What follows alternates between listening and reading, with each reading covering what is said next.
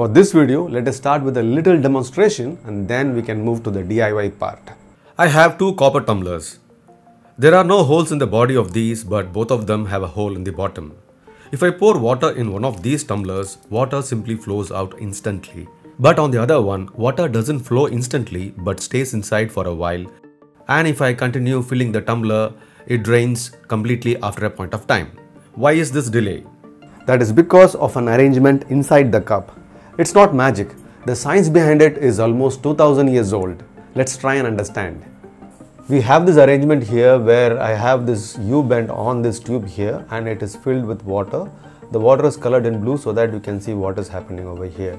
If you notice the water tries to maintain the same level in both the pipes. This may not behave exactly the way I want it to because uh, when we start filling it with more water there is going to be a little bit of air pocket but then I think this setup is quite useful in demonstrating the suction effect. Let me try and pour some water from top.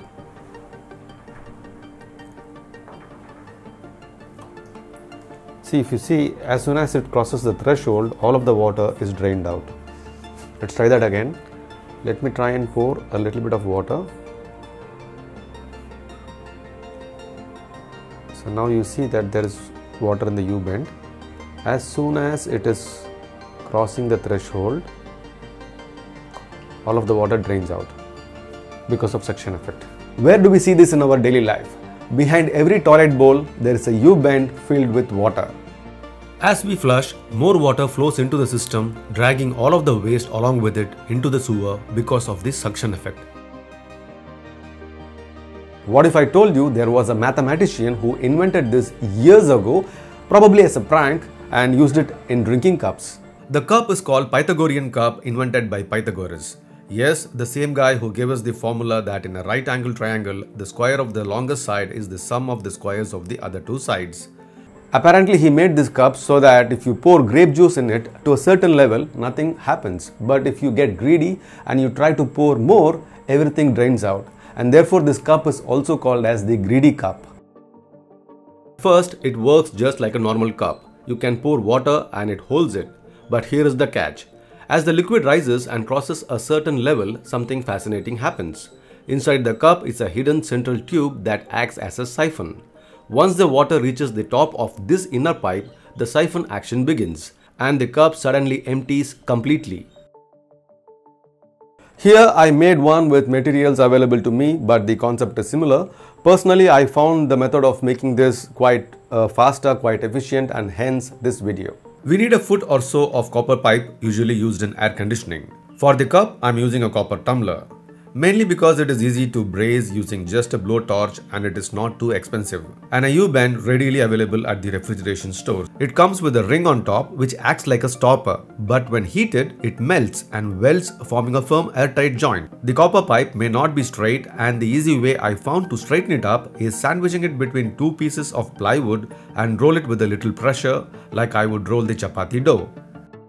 We don't want the U-bend above the level of the cup and also need to account for the size of the U-bend. So I'm placing it approximately 10mm below the rim of the tumbler. After marking the placement, I can measure the distance from the bottom and this will be the length of the copper pipe to be cut. Using a pipe cutter, I cut two pieces of this length. I would recommend cutting one piece to length and keeping the second one a bit longer. I realized this mistake later cause it will be easier to weld if one tube is a bit longer. I placed a dummy rod on the vise and inserted the tube, followed by the U-bend and welded it using the blowtorch. I did this for the other side as well. So now the piece should look like this. Two copper pipes welded to an U-bend. Let us clean it a little bit using sandpaper or steel wool.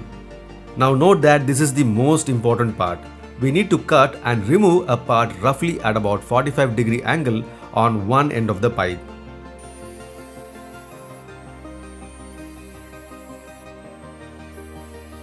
You can see here that one pipe has a flat bottom while the other is cut into a taper. After checking the positions for the placement, I am marking a place for the hole to be drilled on the cup.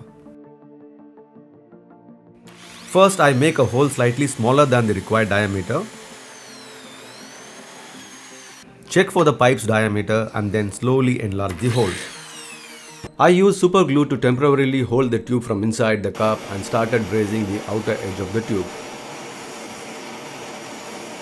In case if you are going to attempt this project, I would recommend that leave this pipe a bit longer so that it will have a kind of a grip and it will you will be able to uh, weld it properly.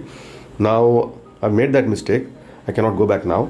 So what I've done is I've made a little bit of a divot in here so that this portion here sinks in and that kind of gives me a little bit of a leverage on the pipe here and I think this attempt I should be able to braze it properly.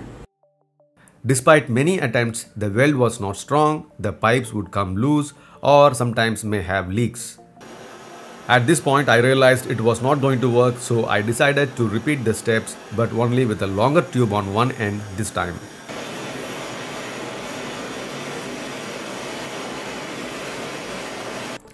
I welded it to the tumbler, cut off the rest of the tube and the Pythagoras cup is ready. It may seem like a simple idea, but numerous experiments have been made using this concept. Some have tried liquid mercury, some have tried liquid gallium, and some have tried various temperatures and etc. Nonetheless, for me, I was making something that is based out of science that is 2000 years old and that is fascinating for me. You guys go out there, get curious, make something new. By the way, don't forget to subscribe to my channel Video Eppo. I've put on a lot of effort in making these videos. I will see you in another interesting video very soon. Until then, bye bye.